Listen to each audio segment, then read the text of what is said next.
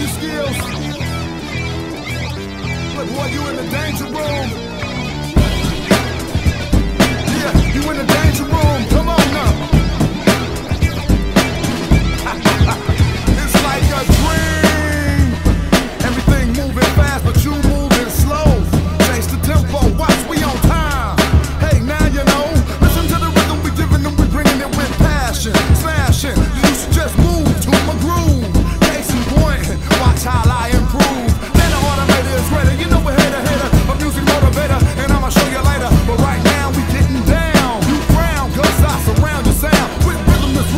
I really get you.